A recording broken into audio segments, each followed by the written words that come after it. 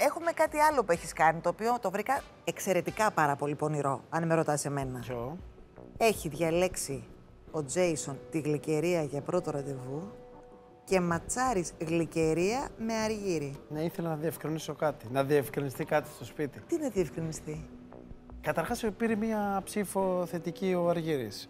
Ήθελα να μάθω, να καταλάβω. Ναι, Εγώ είχα στο μυαλό μου ότι μπορούσε αυτή η κοπέλα να είναι η γλυκερία. ναι. Οπότε ήθελα να καταλάβω αν είναι η γλυκερία από τις αντιδράσεις της. Και από ό,τι ξέρουμε από τον Jason, θα βγει ραντεβού ο Jason με την γλυκερία. Οπότε τι κατάφερα εγώ τώρα. Ε, ο Jason ήθελε να διεκδικήσει τη. Να τη του γλυκερία. χαλάσει το ραντεβού, κατάφερες. Δεν κατάφερες Δεν κάτι το άλλο. κράτησα, όχι. Ήθελες Ίσα-ίσα να του χαλάσει το θα ανθρώπου το τη χαρά. ισχυροποιήσω. Αν είναι όντως άντρας κυνηγός, που από ό,τι καταλαβαίνω είναι, θα το ισχυροποιήσω το ραντεβού. Δεν θα το χαλάσω.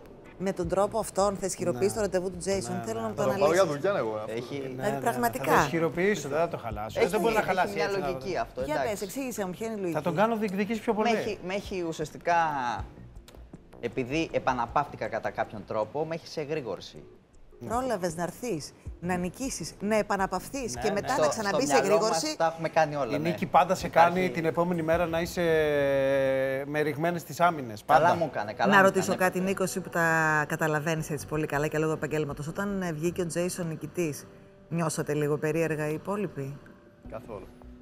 Τσέφτης. Ε, Τσέφτης. Εγώ προσωπικά ήμουν ανάμεσα στον Jason και τον Δήμον. Ότι θα είναι. Θα είναι νικητές στο παιχνίδι. Γιατί; Ο Jason έχει έναν α, προσωπικό τρόπο προσέγγισης.